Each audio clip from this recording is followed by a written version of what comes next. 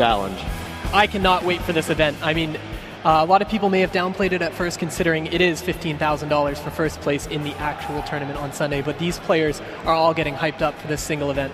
So, of course, what we do have set up is all four healers from the four teams coming to this event set up, and we're going to do a draft style pick and they are not allowed to pick any of the members from their roster. So it's going to kind of change things up a little bit. Should be interesting to see what these players do come up with. But first, we're going to give you a little rundown of what's going to be going on here in Orlando for the weekend. And of course, check it out. We do have the WoW Weekend Pass available again. For $10, you will get that HD stream 1.7 megabytes down. It looks like you're actually playing the game, and also it comes with that DVR functionality, meaning you can pause or rewind if you miss a little bit of action and see exactly how it went down. And once you purchase it, it's just a few clicks away from getting it ready and watching some amazing WoW this weekend. Yeah, a little testimonial of it. We actually cast off the HD stream in the center of our console, so it's great. And also, if you miss any of the action, you can go to MMO-champion.com, GameBattles.com, MLGPro.com, and of course, GotFrag.com. And also on GotFrag, we do have a lot of different stats and things put up, a lot of interesting information from the tournaments over the years, so make sure you go check that out. And as always, we do have that Ask the Cast thread up on the WoW General Discussion, where if you have any questions for Jared or I, and we get a little bit of free time, we will go to that thread and try to get, answer a few questions when we can. Now, of course, as usual, this is going to be a 3v3 tournament. Uh, the players are not allowed to use any UI mods. Um, however, we are changing the rules a little bit since there is going to only be four teams in each of the tournaments. Uh, we're not going to be doing the round robin play. Uh, we're going to be doing best of seven in a double elimination bracket. And also, if we get a map more than three times in a series of seven, we will ask the players to leave the arena and requeue until we get a different map so we can make sure there's a little diversity in map selection. And as Jared said earlier, we are playing for $1,000 to the winning team, the All Star Challenge. And tomorrow on Championship Sunday, the first place team will go home with $15,000. And there are no second, third, or fourth place prize, so it's time to put up. All right, and the four teams we do have at this event, things are always changing when it comes to competitive World of Warcraft. Uh, the team formerly known as Check Six will now be here under that Complexity banner. They will be Complexity Black. Once again, we will have Complexity Red. Button Bashers have come over once again, and we're very excited to see those guys play. And now we have SK and EG combining, and I guess we're going to call it Skiji is what we're going. Yeah, I believe we're going to go with Skiji for the game, uh, for the team name. But we do have the four healers set up at a table with our tournament director Ryan Moore, and we'll be going over in just a moment for the first pick. So, like we said, we do have the healers of the teams that are going to be making these selections. Um, there is an odd number of players here. Um, some teams have brought three, some teams have brought four. So uh, two of the teams will have four players. Yep. And going in pick order, it will be SK or Ski G first. Second, it will be Complexity Black. Third, Complexity Red. And fourth, Button Bashers. Then it will go in reverse order from fourth to first. And of course, like as Jared said, there's going to be four players on SKEG and Complexity Red. So, and right now we do have Ryan Moore sitting down with the healers. So we're going to go ahead and head over and get the first pick ready.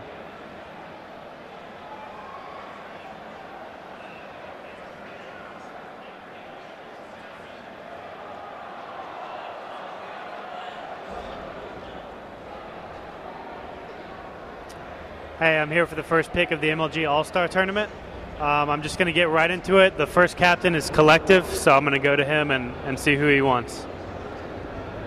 All right, you got the first pick, collective. Who are you going with? Uh, Twix. All right, he's he's going with Twix. Twix All right, is the sounds first like pick. Uh, we just had. So I'll send it over to you guys. from Skiji picking Twix.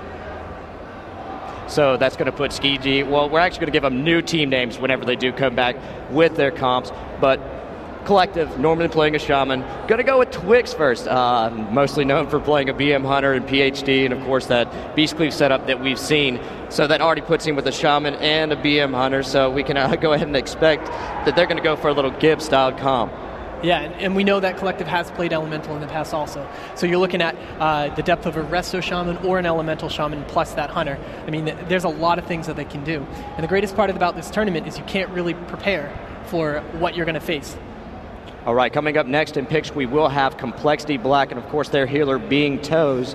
Uh, he has played a priest, he's played a paladin. I've even, I think he's played pretty much every healer at this point. And actually, while they were practicing, I saw him playing a few different DPS classes. So there's no telling what these guys are going to try to run. But Toes definitely regarded as one of the greatest healers out there in the American scene right now. So expect for him to come across and uh, pull out something strong. So in just a moment here, we're going to be going over to Ryan, but we're going to give them about three minutes to make their decision before they're forced to go ahead with their pick. Yeah, because we haven't; these aren't pre-selected, and you know we're just running through a script. I mean, these guys are picking their players on the fly. They only have three minutes to do it. And remember, Toes cannot pick his teammate Flex, even though he still still is available in this pool. They are forced to pick somebody off of their team roster.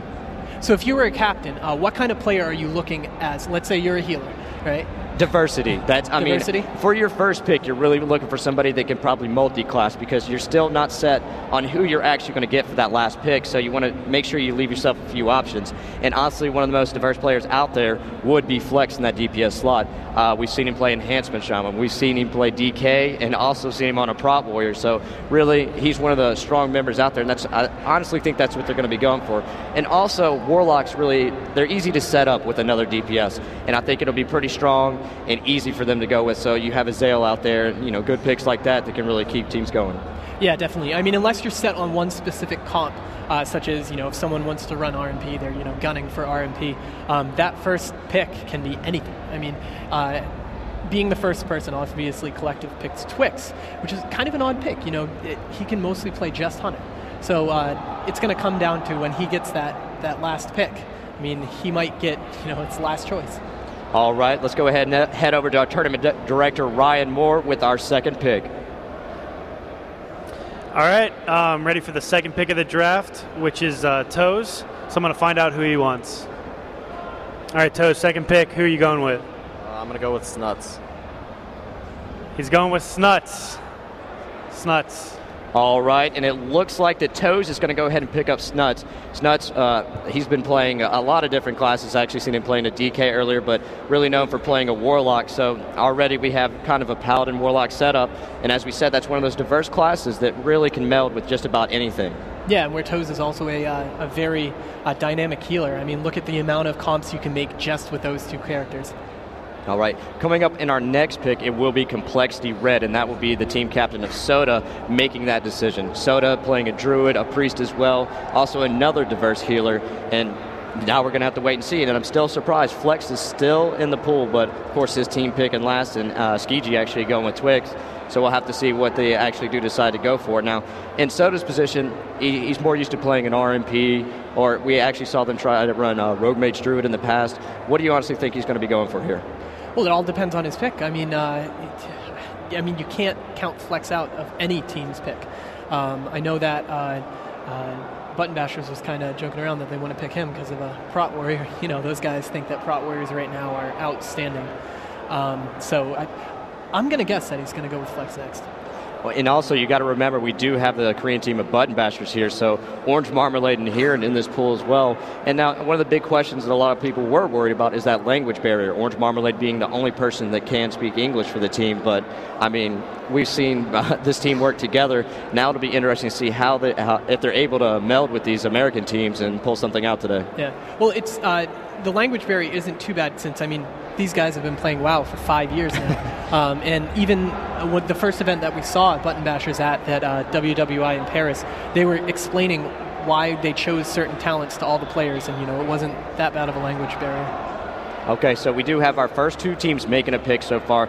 Skiji going with Twix, and then we did, did have Toes actually pick up Snuts, and now we're going to be waiting for Complexity Red and Soda to make their decision. And remember, after we do go through the first four picks, it will go in reverse order, meaning Button Bashers will be first for their final pick, and then we will have a couple teams with four players. So we'll be going for a little bit. And as soon as we finish up this draft, we're going to take a short commercial break, and we will go right into the games today. Yeah, and these uh, these players have all set up a lot of classes. We uh, we gave them a ton of time yesterday and today to set up what they want. Uh, I mean, it would be very hard to, uh, you know, know in advance exactly what class they're going to need in this tournament. And another scary thing playing in a tournament where there's so many diverse comps that can appear, and it being double elimination. You only get two shots, two losses, and you're out of the tournament. So let's go ahead to Complexity Red with their pick and their team captain, Soda. All right. Third pick of the draft is going to Soda. I'm going to go with him and find out who he's going with. Soda, third pick. Who do you want?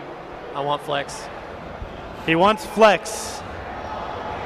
And there you have it for Complexity Red. Soda is going to pick up Flex, so taking that diverse player that we were talking about. So already, both of the DPS coming from Complexity Black being chosen in the first round. Yeah, and where Soda can play more than one healing class. I mean, look at how many comps they can build just with this, just with these two players. I mean, you name it, they throw a DK into it.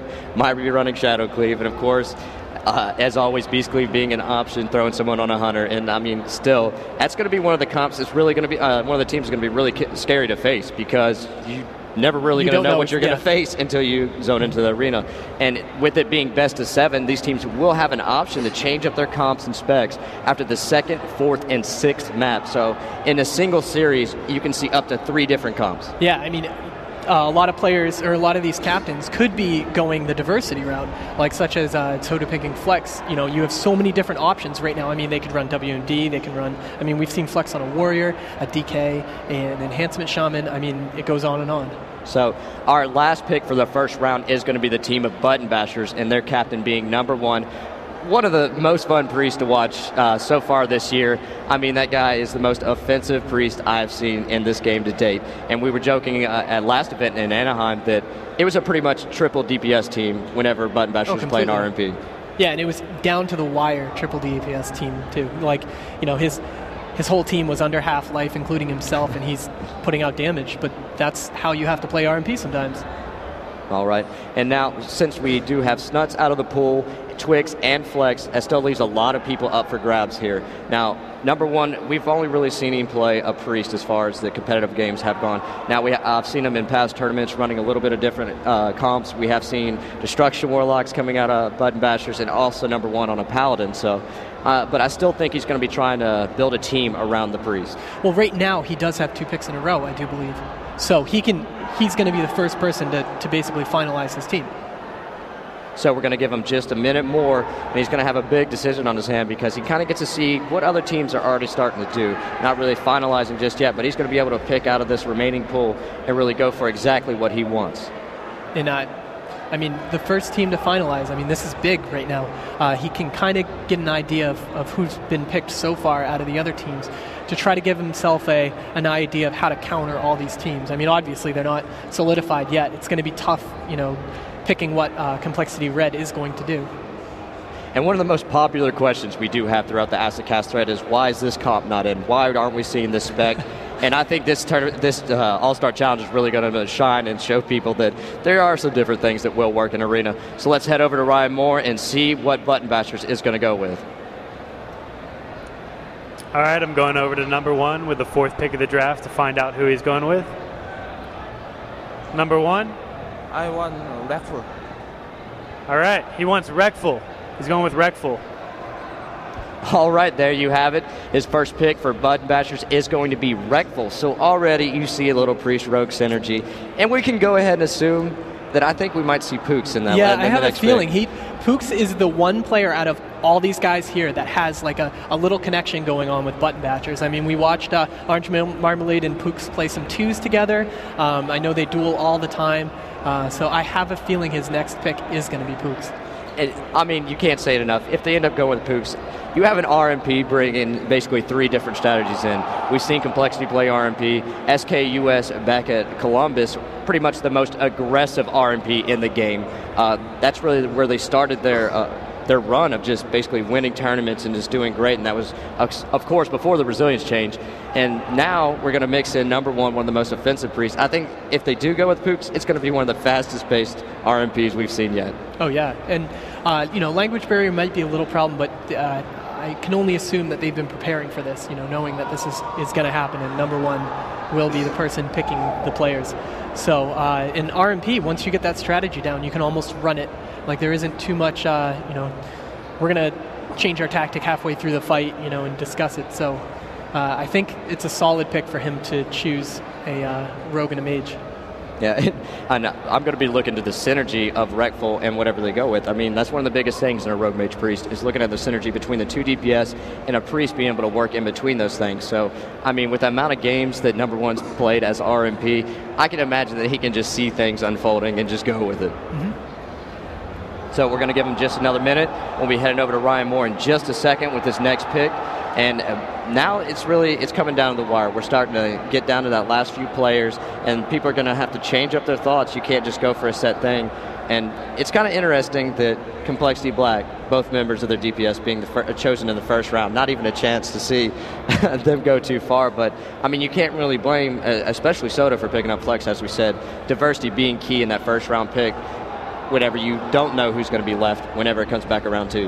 Yeah, I mean, I was talking to Azael this morning about it, trying to get a, an idea of how excited these players are for it. I mean, they, these players are pumped for this tournament. Um, and uh, he was saying that a lot of players might be running cleave, but there are a few cleave counters that players are looking to run. Yep, this is definitely going to be a very interesting tournament. And you know, it's just it's good fun. I, I know a lot of these players will be going for the thousand dollars. I mean, who wouldn't want to win when it comes down to it in the end? But honestly, this tournament's more about these players just enjoying themselves and us to get to see something a little different. So let's go ahead and head back over to Ryan Moore with the next pick. All right, I'm going to go head over to number one and find out who he wants with his second pick in a row. Number one. Um, Reals. Reels? Ooh. Reels? All right, he's going with Reels. I do believe that that pick was Reels for the final pick. So that's going to be a little interesting. We have Reckful known for playing a rogue. I did see him on a Warlock earlier. And now we have Reels, who we've seen in the past play a Priest, a Rogue, and a Hunter. so I don't see double Rogue Priest coming out. So maybe uh, Rogue Hunter, which actually some people have been doing on live, and of course have to throw a Cleave name to it. Venom Cleave, why not, I guess. I, you can't get away from it, apparently. So, I mean, uh, interesting choice. I just assumed that they were going to be going with a mage and just go with the standard RMP, but why not change things up whenever you have the chance? Maybe number one knows something we don't know at this point. But no, we, we have seen Reels play a lot of different classes in tournaments so far. Um, plays them at a high caliber, uh, so I mean they can do a lot of things, and we will never know what number one can play because I mean even though he is the healer, picking because he was his uh, his team's button basher's healer, it doesn't mean he has to play healer. And I don't even think we've brought it up yet, but coming into this tournament, uh, actually JP was talking with Orange Marmalade. They have played over 3,500 games preparing for this tournament.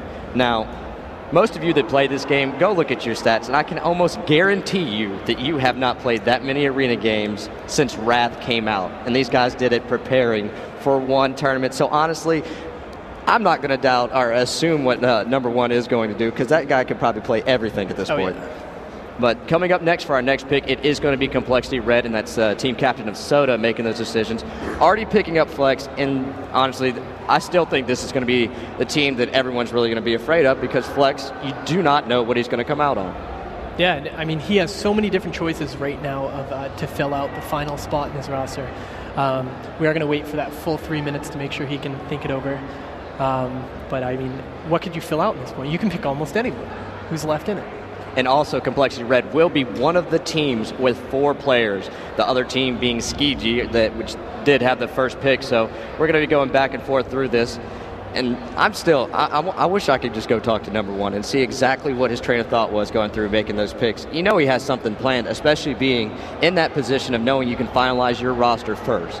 Yeah, I mean he's he's actually taking notes right now, trying to trying to guess what the other teams. I can only assume what the other teams can run at this point. And so, even and another big thing to note as well, Orange Marmalade probably considered the best, if one of the best players in World of Warcraft out there, and did not go in the first round. Yeah, it's. Um, I have a feeling though the reason why these people, if you looked at all the first picks, they were either the MS class or the person who can play very diverse. You know, so you know, one with the rogues, the the warriors, the the enhancement shamans, the hunters, something like that. So they're MS first. So let's go ahead and head over to Ryan Moore with our next pick. All right, next up, I'm going to be going with Soda to find out who he wants with his next pick. Soda, who are you going with? I uh, I choose Pooks. Soda's picking up Pooks. Pooks. All right, there you have it. Soda's third pick is, our second pick is going to be Pooks. So now you have Flex and Pooks set up for your DPS, and remember, he will get one more member being that four-man team. So Flex and Pooks, just kind of go ahead and make an, uh, assumptions. You're looking at an enhancement shaman and a mage, which people have made work on live, and it is a very annoying comp to play against, specifically for melee-based cleaves. Yeah, and it's uh, and that's what I was saying. They are getting ready for those uh, those cleave counters because that's probably at, at, this level where you have to throw players together quickly. Cleave is definitely the the go-to comp where you know there isn't there's a lot of strategy in cleave. I'm not saying it's you know there isn't anything to do, but um, stick a target and kill it. It isn't that hard. You know, it's going to play a lot of pressure on your healer, keeping up obviously, but um, being able to counter that is a great idea, and Soda was looking to do that. Well, I mean, already we're seeing why players and I, honestly us here at the Gotfrag staff are getting excited about this tournament because with two teams basically picking up their first three and kind of looking towards what they're going to be running, it's not anything that we're used to seeing at these tournaments. Not at all. And I'm glad that we made the rule that you couldn't pick your own team because you know, we're going to see players that I, I, do know a lot of players have transferred to BlackRock, and so they have been playing together on teams, and you know, quite possibly some of these teams have played together on live or certain members of it. Um, but you know, then we have the the team of button bashers, or number one, choosing. Uh, two totally different players. Yep. It's going to be very interesting. So our next pick will be Complexity Black, which of course is a team formerly known as Check Six. Uh, that is Toes making the decisions there, and he's already picked up Snuts, known for playing a Warlock or a DK. So maybe we're going to see a little Shadow Cleave setup. We do have Azael still available in the pool, so I think we might be seeing a, a kind of a normal setup there. But who knows if it goes as it's been going so far? It won't be anything that we assume. Yeah, I mean they have they have a lot of diff- he has a lot of different choices right now. Um, I mean, there's still a big pool of players left. Obviously, Azael has played Warrior before um, and Warlock, so I mean they can run lots and lots of stuff with those two players so far. So just now looking at it, and we do have complexity red with its three out of four players. Button Bashers making their decision with their three-man roster. Between those two teams, well, we don't even know what uh, what number one's going to run yet. So um, we'll have to see. Maybe if it is that uh, that rogue hunter mate uh, or rogue hunter priest, we're not sure. I mean, I can't wait for the first game. All right, let's go ahead and head back over to Ryan Moore with our next pick. All right, I'm going to go with Toes on the uh, seventh pick of the MLG All Star Draft. Toes, who are you going with? I go with Vinruki. He's going with Vinruki. Vinruki. All right, and there you hear it. Just as uh, we are completely wrong all the way through, it is going to be Vinruki for his next pick. So you have Snuts playing a lock, and then Vinruki, mostly known for his mage play. Already a, l- a little wizard cleave maybe mm-hmm. going down here? That's what I'm seeing. And now Toza's smiling at us, so either we're completely right or we're completely wrong. So, you know, we've seen it in the past, and everyone's seen it on live. I think it's pretty much one of the most hated things that really rose up this season, and that, of course, being wizard cleave, where you have two casters set up and generally a paladin or a shaman, lust or uh, aura, that just makes them blow somebody up. No MS necessary. Let's just both channel into one target and make things go away. All right, so that so we have two teams that are completely locked in right now. Number one's team, um, and now we have Toza's team completely picked. So I do believe coming up next we will have two picks from Ski G to finalize their four-man roster, and then leaving that last pick to Complexity Red. So, in just a few minutes here, we'll have the rosters locked down. And like we said earlier, we're going to take a short commercial break right after these picks are finalized. Let these players get to their PCs, and then we're going to go right into the action. And this, of course, will be double elimination, best of seven. So, we're going to go all the way through it today and leave all the championship for tomorrow on Sunday. All right, so uh, Collective right now has few seconds remaining to uh, discuss. It looks like he's talking to Ryan Moore right now and uh, looking at the list of players that are still available. Um, what do you think he's going to pick? Well, you already, like we said, you already have Twix, you know, playing BM Hunter. He has MS. So, you know, in the traditional style of things, MS, caster, healer. That's kind of what you're looking at. But, I mean, we still have a lot of great players left in the pool. And as you said earlier, Azael playing a warrior and a warlock. I, have even, even seen him on a DK in the past. I, you can kind of throw one of those, any of those three classes into that mix and do pretty well. And it even brings up the discussion of maybe Azael will come in on Prot Warrior and uh, bring up pretty much one of the most controversial things right now, of course. The number one team on one of the most aggressive BGs out there right now being Marks Hunter, Prot Warrior, Paladin. Which is something they could run, you know, if they do pick up Azael. And they also have that fourth pick still. So uh, not only can they run, could they run that uh, Prot Warrior Hunter combo, they have an entirely different setup that they can run. Yeah. And honestly, throughout this tournament, I, I do believe we're going to see most of these teams kind of swap it up because this is one of the opportunities where we kind of go back to the old days of competitive WoW where there was a lot of counter comping, trying to assume what this team was going to run. Do we try to counter comp it? And then it was just back and forth. There was an entire meta game to WoW Arena whenever it first came around. And I do believe players will take advantage of that. But let's go ahead and head over to Ryan Moore with our next pick. All right, eighth pick of the draft. I'm going over to Collective to see who he's going with. Collective, who are you going with? Aaron. Hirin, the rogue. Hirin. All right, there you hear it. It's going to be Hirin, one of the players from Button Bashers going onto that team. So once again, things are changing up. Now we have two teams with two people that can run both Rogue and Hunter. So I, it'll be interesting to see. But like we said, Button Bashers being the team where it's very unknown what all they have in their arsenal. With that many games played, there's no telling how many different teams they have played, how many different comps. And Hirin being an amazing rogue already, Twix we know mainly sticks to Hunter.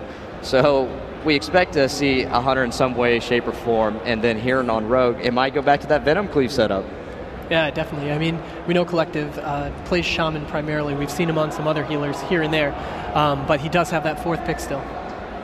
Collective, uh, he's been regarded as one of the best shamans out there for quite a while now. Uh, not having a lot of success recently in tournaments, but I mean, like we said, it's fun in this All Star Challenge. It's giving everybody a little bit of a different chance to try things out, and it's going to be just insane once these gates finally open for both of these teams. Just wondering what the other's going to be running. So not very many players left to pick so far. So we have two teams that are completely solidified and uh, have all their picks done. So and I do believe we have three picks left. So. Yep, they're going to have just a couple more minutes here. Uh, I do believe it's going to be SK or Ski G with the with their fourth member being picked, and Azael still not picked up yet. I'm kind of surprised. I thought he was going to be one of the earlier picks. Yeah, because and that's what we were assuming. The players that can play many different classes are the ones that would have been picked first. But it looks like all these uh, these captains have a game plan coming into it. And speaking of it, no orange marmalade picked up yet. Oh, I know. What's going on here? I don't know. it's going to be very interesting once the gates do open. And don't forget, all the action throughout this weekend will be available in HD. Make sure you check out the WoW Weekend Pass for $10. You will get both days of action, the All Star Challenge and Championship Sunday, with that 1.7 megabyte stream that does have that amazing rewind functionality, which we were we were talking about nonstop last tournament. Watching button bashers with some of their insane openers and swaps, it'll give you the opportunity to be able to pause, rewind, and check out the action step by step, which something that which we, is going to be needed. yeah, those guys they definitely pull tournament. things off just amazingly well, and it's really easy once you do sign up for the HD. Just a couple clicks away, and you'll be right into it. So it looks like we're going to go ahead into our next pick. All right, I'm going to go over to Collective again and see who, he wants for his last pick of the draft. Collective, who are you going with? Orange marmalade. Orange Marmalade. And there you hear it. Orange is picked up by Ski G. So rounding out that team, you have both members of Button Bashers joined by Twix and Collective. I think it was a smart move, actually. I think the, the synergy of Rogue Mage and Rogue Mage Priest is huge for that team. Um, and to get both players on one team, it, it was a great pick by Collective. Uh, we already know the synergy between Heron and Orange Marmalade is there. Now we just have to kind of see will Collective end up putting both of them in? I mean, they have that opportunity with a fourth member just to throw a wrench into things. Most people will assume that we'll see Rogue Mage come out. Collective, even not really known for playing a priest, Rogue Mage Shaman, the synergy's still there between the Rogue and Mage. And with the aggression that we've seen between those two players, Bloodlust definitely would put a mix into it as well. But still, nothing is decided yet. I can guarantee you, with this little break they'll have, they're going to talk things over and just try to come up with some different strats because, like we said, with a best of seven, these teams will have the opportunity to change comps, specs, anything after that second, fourth, and sixth game. So up to three different comps can be run in a single series. All right, so you know we're down to the uh, the last pick, which surprisingly, going to be Azael. Uh, Oh, he's- com- Complexity Red. two more, one more. Complexity Red will have that one more, that last pick, and I do believe Azael will be Yeah. the last player available. So Ah, poor Azael being the last pick. But there's so many great players here that it isn't like you know we're like ah Azael's the worst player here. We're picking him last. still doesn't matter. No, nobody likes being the big kid in dodgeball. Nobody. So we're going to go ahead over to Ryan Moore, and we'll finalize this draft. All right, last pick of the draft goes to Soda, so I'm going to find out who he's going with. Soda, Azael. he's picking up Azael, Azael to end the draft. And that will do it. There you hear it. Complexity Reddit picking up Azael. And now we're going to have to come up with some new team names for these, uh, for these teams because, as you see, everything's been chopped up. Players are on different teams, different faces, so it's going to be very interesting to see how this unfolds. Don't forget, we're live here in Orlando with the All Star Challenge. We'll be right back after a short commercial break, going right into the games. Do you want to be at the top of your